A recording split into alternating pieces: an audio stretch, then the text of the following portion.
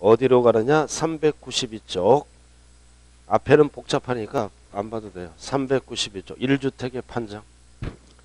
2번. 1주택을 비과세는 거야. 주택을. 그래서 주택이 뭐다? 사실상 주거용으로 사용하는 건물. 주거용이 주택이에요. 주택. 그래서 1번. 공부상은 주택이야. 사실상은 영업용 건물로 사용하다가 양도하면 사실상 용도로 판단하죠. 그럼 영업용 건물은 무조건 과세한다. 과세한다는 지문이 뭐다? 1주택으로 보지 아니한다. 그 뜻이에요. 영업용 건물은 주택이 아니잖아요. 그리고 상시 주거용이 아닌 콘도, 합숙소 이런 것도 주택으로 안 봐요. 불특정 다수인들이 사용하는 주거용 건물은 주택으로 안 봐요.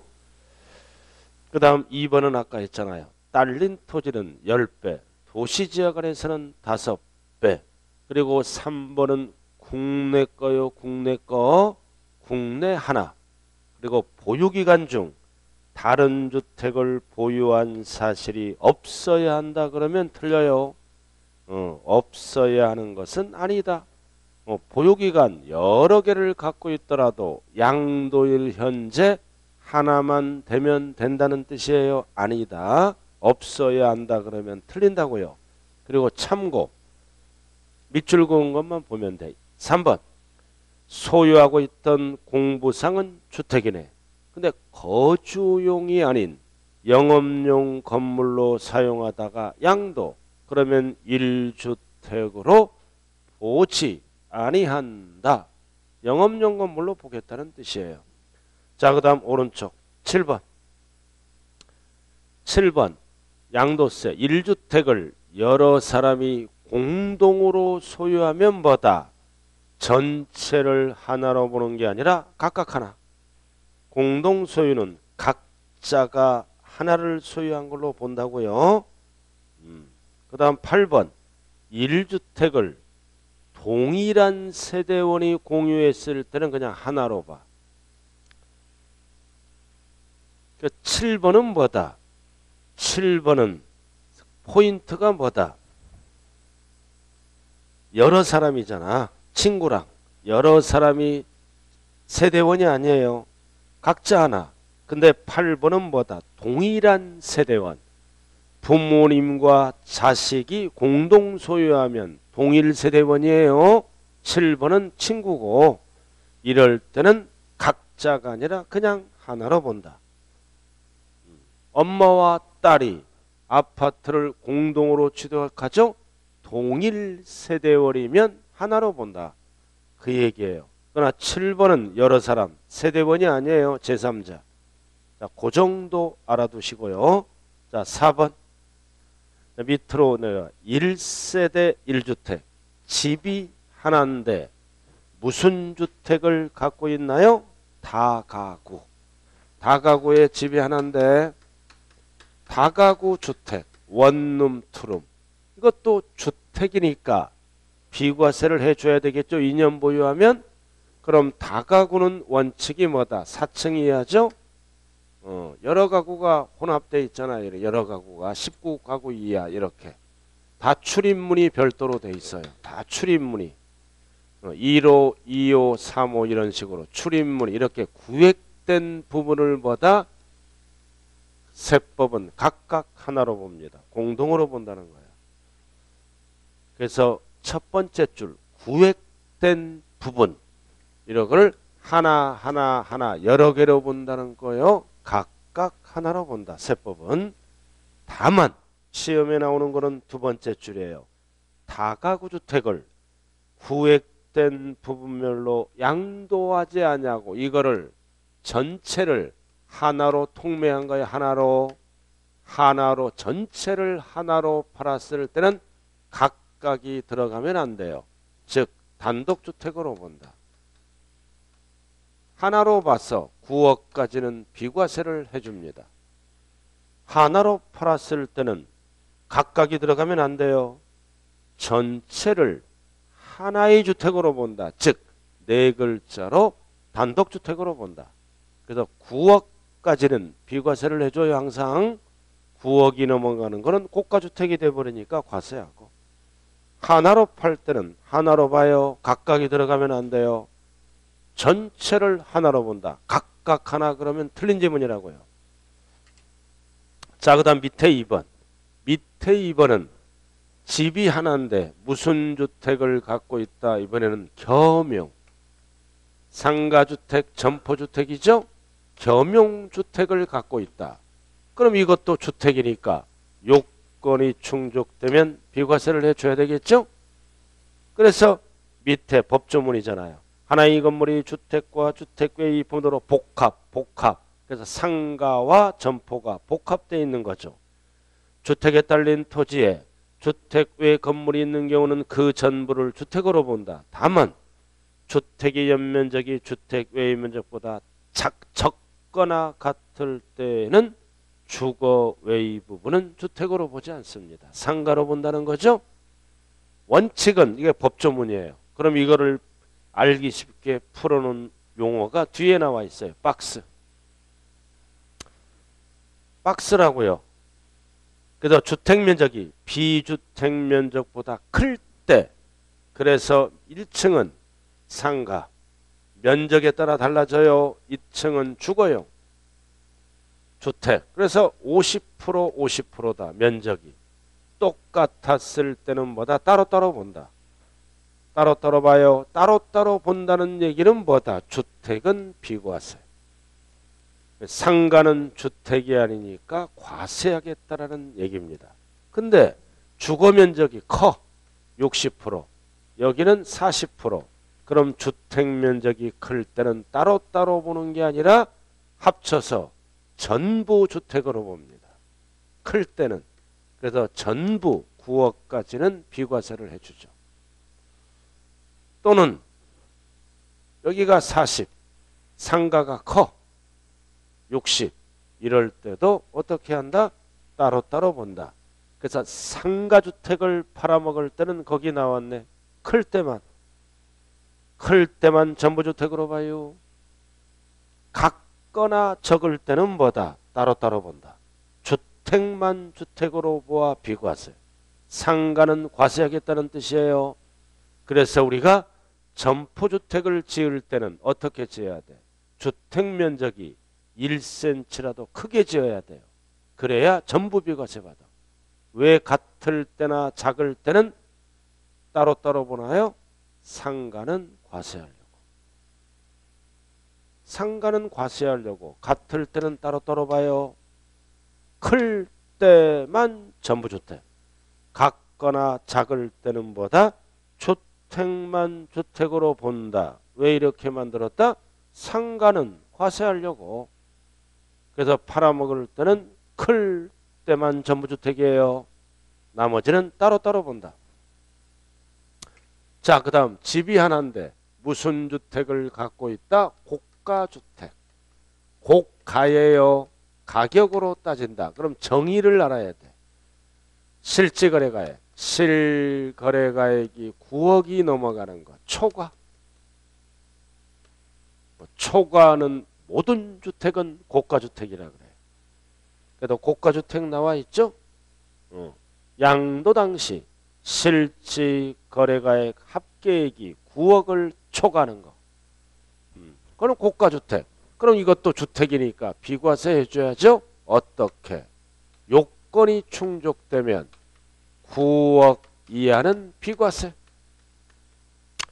그 다음 9억이 넘어가는 것만 비율만큼 과세. 세 번 출제됐어요. 전부 비과세 땡. 전부 과세 땡. 9억을 초과하는 부분만 과세가 한다고요. 제일 밑에 나와 있잖아요. 9억 원을 초과하는 부분에 대해서만 과세한다. 9억까지는 비과세한다는 뜻이에요. 그 다음 4번은 아까 배웠죠? 공동소유주택. 여러 사람이 갖고 있을 때는 뭐다? 각자가 그 주택을 소유한 걸로 본다. 각각 하나로 본다. 그러나 누구랑 소유했다. 다만 동일 세대원이 부모와 자식 이럴 때는 하나로 본다.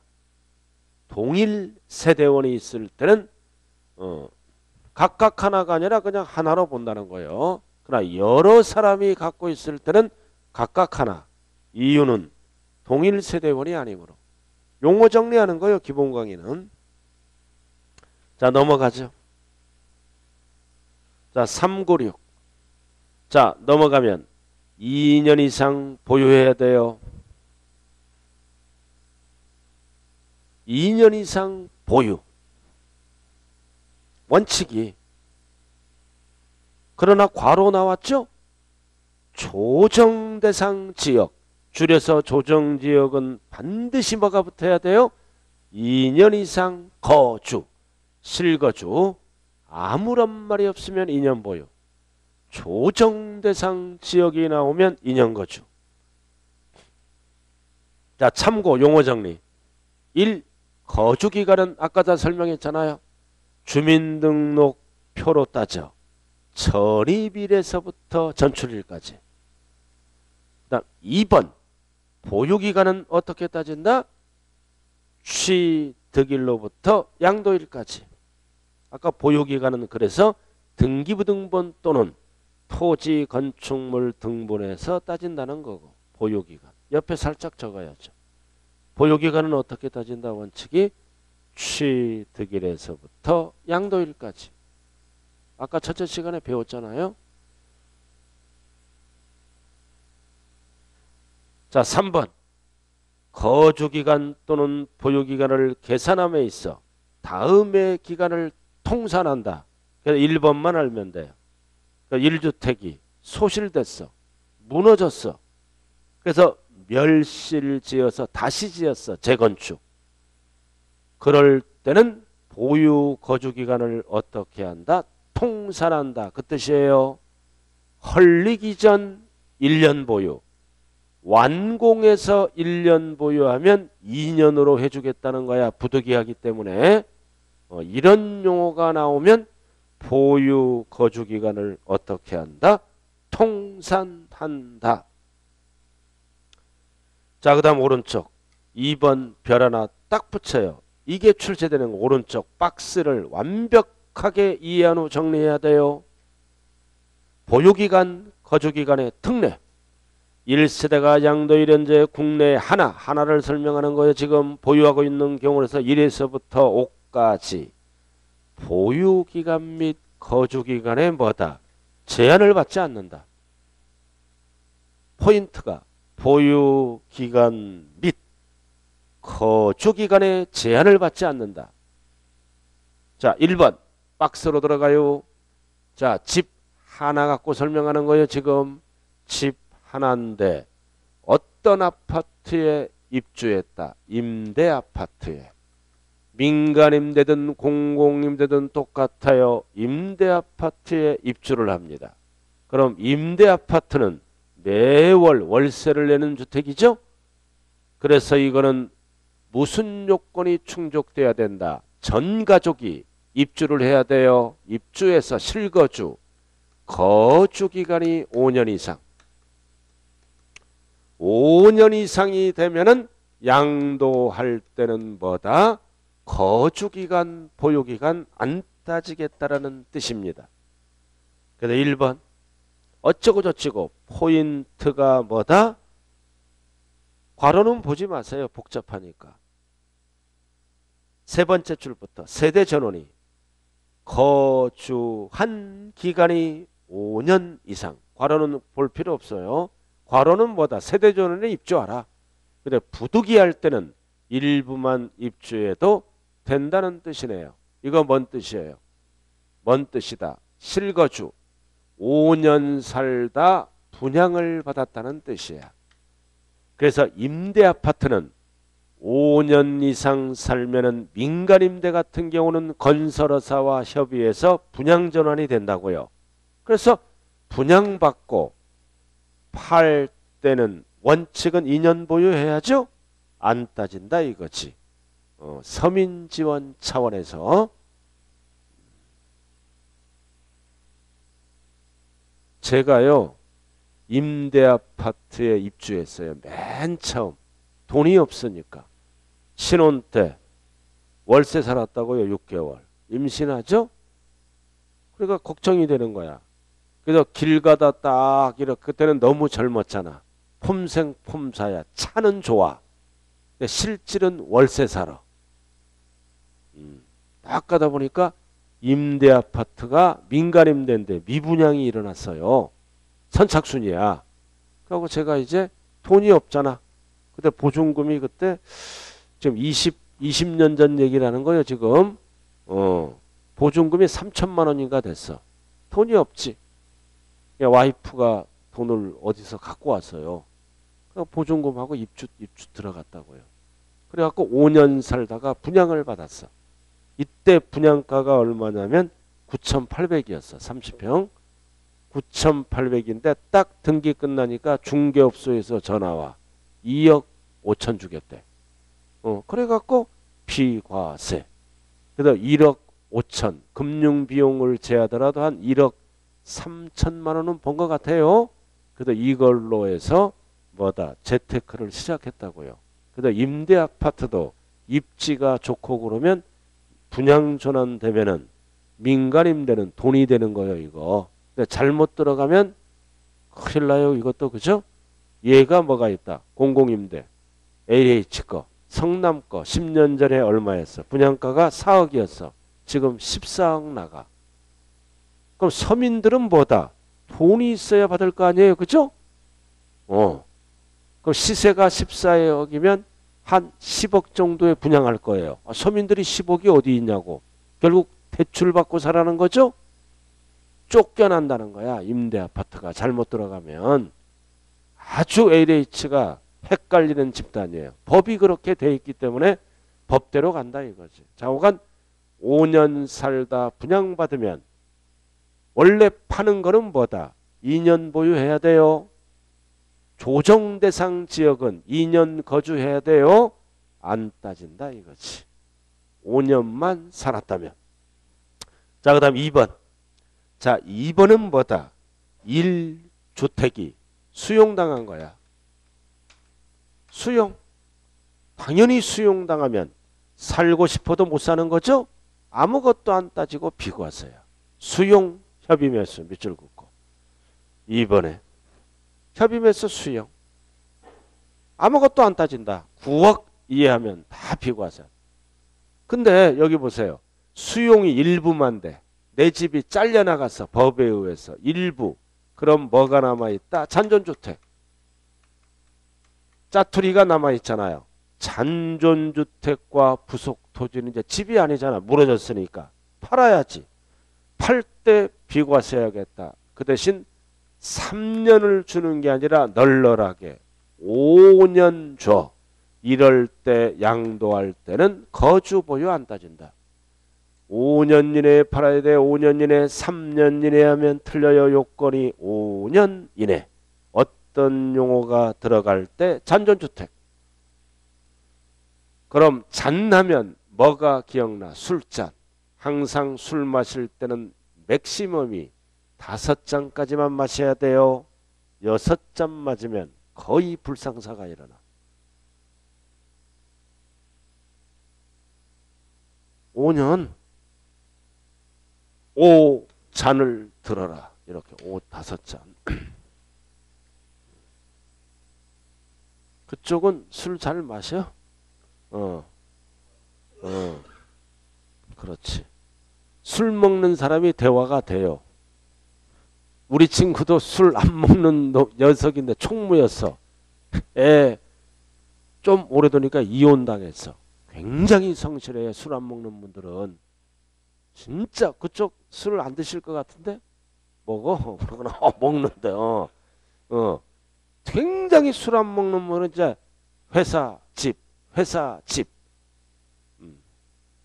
좀 사, 살다 보니까 배우자가 짜증났나 봐 소문이 이혼해갖고 지금 본 지가 한 10년 더 됐어요 답답한가 봐요 그렇게 성실하더라도 대한민국 여자들은 싫어하더, 싫어하더라고 어. 참 안타깝더라고요 그럼 1년에 한 번 만나면 그 녀석은 고수업, 고수업도 못 쳐. 집에를 안 가. 심부름 다 해. 담배 사와라 그러면 담배 사오고. 그러면 천 원 주면 딱 챙겨서 집에 갖다 주고. 얼마나 성실한 남자야. 어, 참 안타깝더라고요. 음. 자, 그 다음 세 번째 3번. 자, 3번, 4번은 묶어 같이 가는 겁니다. 1주택자가 해외 2주가 해외 2주 이민 가는 겁니다. 자, 1주택자가 국외 거주야. 국외 거주. 왜 국외 거주야? 배우자가 국외로 발령을 받아 또는 애들 취약 때문에 국외 거주할 수 있죠? 그럼 이거는 공통이 뭐다? 어떤 요건이 충족돼야 돼? 세대 전원. 기러기가 되면 안 돼요. 세대 전원이 출국해야 돼. 세대 전원. 자, 그럼 이제 팔아야죠? 그럼 팔아먹을 때는 이거는 뭐다? 이민 갔다. 1년 이상 국외 거주로 갔죠. 근무상 등으로 세대 전원이 가야 돼요. 그럼 팔아먹을 때는 빨리 팔아야 돼. 왜? 거주자가 비거주자로 바뀌었잖아 이제. 우리나라 사람이 아니죠? 그러니까 빨리 팔아야 돼. 이거는 3년을 안 줘. 출국일로부터 몇 년 이내에 팔면 된다? 2년 이내에 팔면은 뭐다? 거주기간, 보유기간 안 따지고 비과세 해주겠다 이 얘기예요. 3년 이내에 하면 안 돼요. 3번 세대조는 밑을 긋고 2년 이내 밑을 긋고 그럴 때는 비과세 해준다. 자, 그 다음 4번도 뭐다? 1년 이상 국외 거주. 어, 1년 이상 발령을 받은 거야 국외로. 그래서 근무상 또는 취약. 역시 포인트는 뭐다? 세대전환. 전 출국해야 되고 팔아먹을 때는 몇 년 이내? 2년 이내에 팔아야 돼. 이런 경우가 사회 문제가 될 수가 있어요. 지금 이거 어 2년 이내 기러기 아빠들이 많잖아요. 좀 그죠? 어. 빨리 팔아야 돼. 3년 하면 안 돼. 자, 그 다음 5번. 5번. 포인트가 뭐다? 1년 이상 거주에 밑줄고 주택을 RA 영어로 정하는 취약, 근무상 형편, 질병치료, 근무상 형편에 밑줄 그어요. 사업상은 안 돼요. 근무상, 부득이한 사유입니다. 이거 포인트가 뭐예요?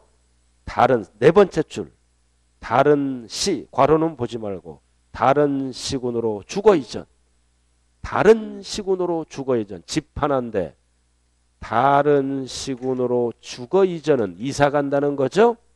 이사 가는 거야. 주거 이전. 이사 가는 거야.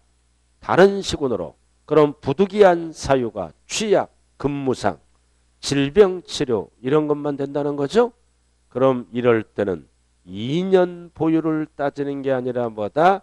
1년 이상 실거주, 거주했다는 사실이 있다면 팔아먹을 때 안 따지겠다. 포인트가 뭐다? 1년 이상 거주. 보유하면 틀려요. 첫 번째 줄. 자 그럼 넘어가요. 넘어가면 네 가지가 부득이한 사유예요. 1번 네 가지가 초딩, 중딩은 안 돼요. 2년 보유도 고등학교 이상. 초딩, 중학교는 제외. 그럼 고등학교 이상이 돼야 돼요. 그 다음 2번. 근무상 형편, 전근 같은 거. 어, 대전시에서 살다가 세종시로 이사 가잖아요. 이런 거. 사업상은 안 된다. 그리고 3번은 뭐다? 질병치료 이런 거.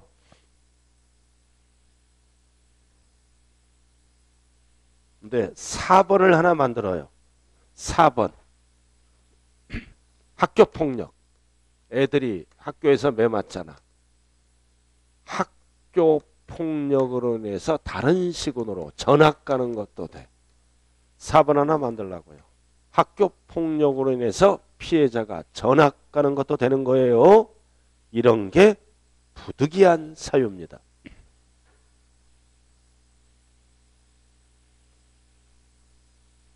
자 그럼 칠판 봐요. 그럼 몇 가지 사례가 있어요. 기본 하나, 둘, 셋, 넷, 다섯 개. 그럼 다섯 개의 공통사항은 뭐다? 보유란 말이 한 번도 없어. 다섯 개의 공통은 보유 없어요. 보유란 말이 들어가면 무조건 틀린 지문이에요. 2년 보유 안 따진다. 거주 안 따진다 이거예요. 팔아먹을 때. 그래서 보유기간에 제한을 받지 않는다. 보유란 말이 하나도 없잖아요. 포인트가 어, 보유란 말이 한 번도 없어요. 보유기간에 제한을 받지 아니하는 주택입니다. 자, 프린트로 정리 한번 해보자고요. 프린트 보라고요. 자, 뒷면에 자, 1번 정리 들어가요. 고가주택. 주택이잖아. 2년 보유하고 조정 대상 지역은 2년 거주하면 비과세 주죠. 정의가 뭐다? 9억 초과. 그럼 9억까지만 비과세예요. 요건이 충족되면 9억 초과분 비율만큼 어떻게 한다? 과세. 전부 비과세, 전부 과세하면 틀려요.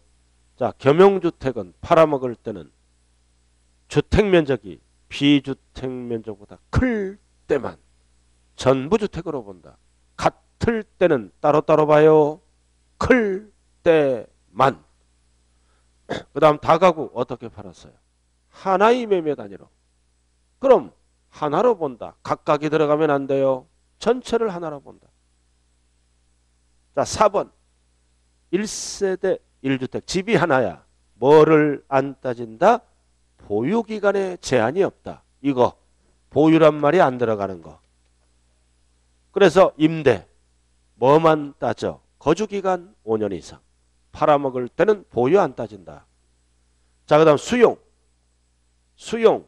잔존주택이 나오면 몇 년 이내에 팔아라. 5년 이내에 팔면 보유기간 안 따진다.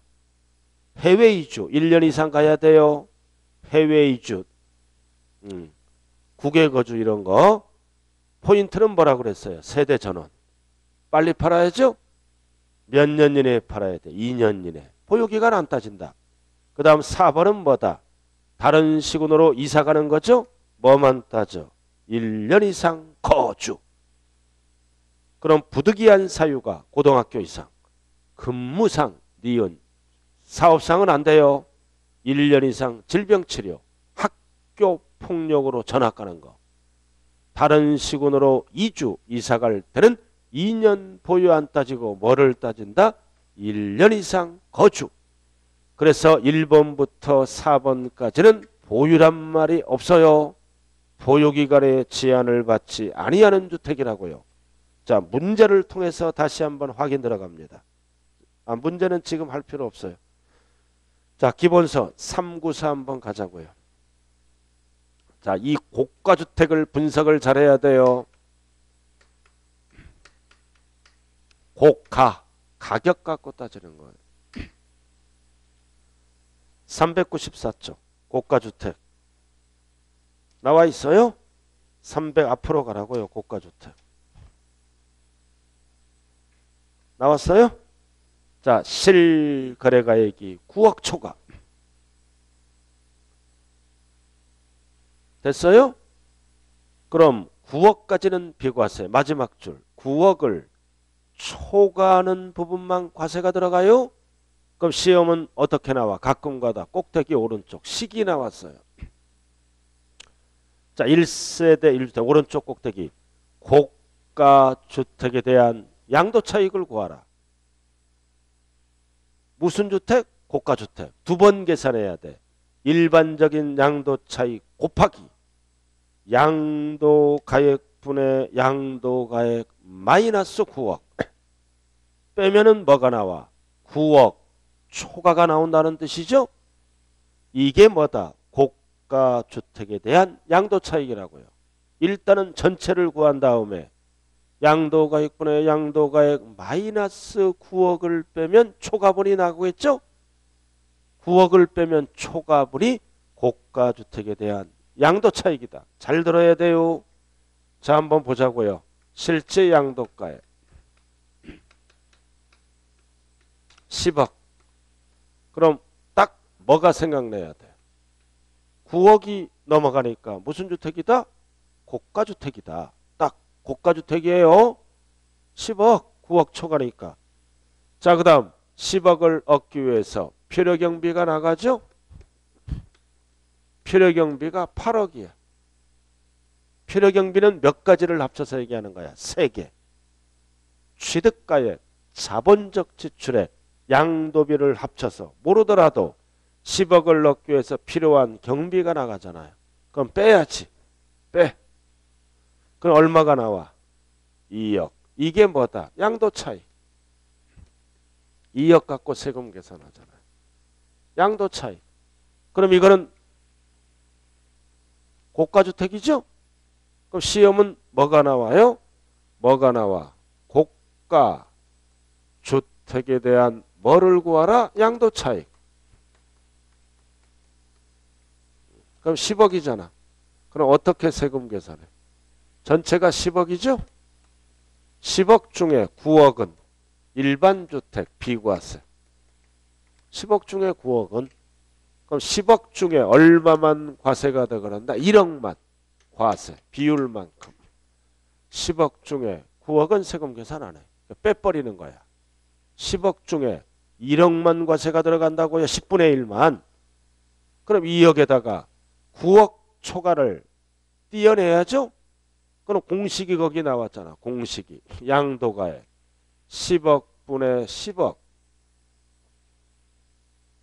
얼마를 빼야 돼? 9억. 그래야 초과분이 나오죠. 결국 이 얘기는 뭐다? 10억 중에 1억만 과세하라고요. 10억 중에 1억. 그럼 10분의 1이니까 얼마야? 얼마? 아, 10억 중에 1억. 2천만 원. 2천만 원의 이름이 뭐다? 고가 주택에 대한 양도 차익. 그래서 계산을 두 번 해야 돼요. 전체를 구한다. 두 번째는 뭐다? 9억 초과를 다시 계산한다. 그래서 식이 필요 없잖아. 10억이면 10억 중에 9억은 비과세. 10억 중에 1억 10분의 1만 비율만큼 과세하는 거요. 자 문제를 통해서 한번 확인해 봅니다. 자 399쪽 대표 예제 답 보지 말고 한번 풀어봐요. 399 꼭대기 대표 예제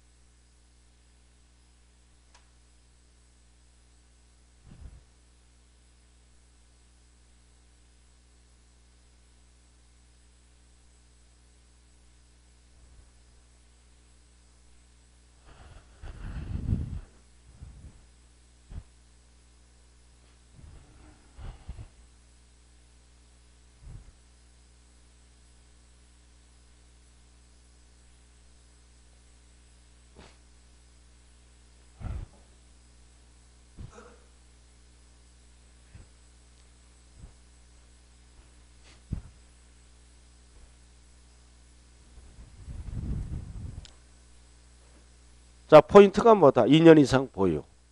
이것도 주택이니까 비과세 해줘야죠. 얼마에 팔았어? 12억. 딱 9억이 넘 고가주택. 그럼 빼기 전체 필요경비를 빼야죠. 필요경비가 얼마나 나와서 8억. 8억. 그럼 전체 얼마 나와? 4억. 이의 이름이 뭐다? 양도 차이. 이렇게. 그럼 여기다 9억 초과만 별도로 계산해야죠. 뭔 뜻이에요? 여기 봐. 12억에 팔았잖아. 어. 전체 가액이 12억. 12억 중에 9억은 비과세. 2년 보유했으니까 그럼 12억 중에 얼마만 과세가 들어가? 3억만. 그래서 공식대로가 12억 중에 12억 얼마를 빼야 돼? 9억. 그래야 초과가 남잖아요. 즉 12억 중에 3억만 계산하는 거예요. 4분의 1이죠? 그럼 얼마? 얼마? 4분의 25%니까 1억. 1억. 4, 3, 12. 이 1이잖아요. 답이 몇 번이에요?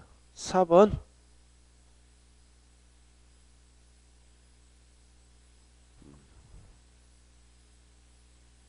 자, 그리고 프린트 봐요. 조금 쉬었다. 프린트 아까 1번, 2번 안 풀었잖아요?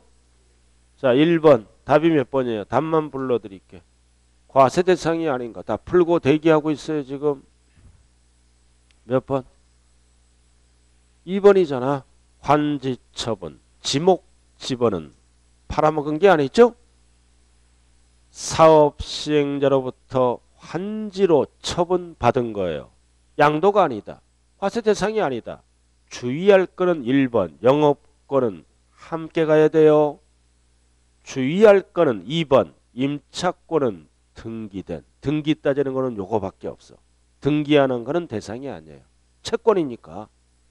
답은 2번. 자, 그 다음 2번. 양도에 해당하는 것. 1번은 나왔네. X. 2번 부담부 증여잖아. 채무를 물어보는 거예요. 이거 제외를 물어보는 거예요. 주어가 제외.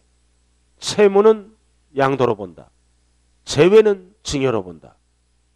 제외를 물어보는 부분이에요. 이거. 그러니까 증여로 본다. 답은 3번. 양도담보. 못 갚았잖아. 채무불이행으로.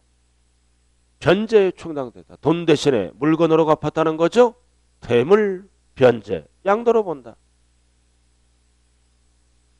자, 4번은 무효. 무효는 소유권 환원 X. 5번 경매는 양도인다. 근데 뭐야? 본인이 재취득은 소유권 하나. 양도가 아니다. 답은 몇 번밖에 없어요? 몇 번? 3번. 자, 잠시 쉬었다 하자고요. 어, 쉬었다가 이제 간단하게 마무리 지을게요.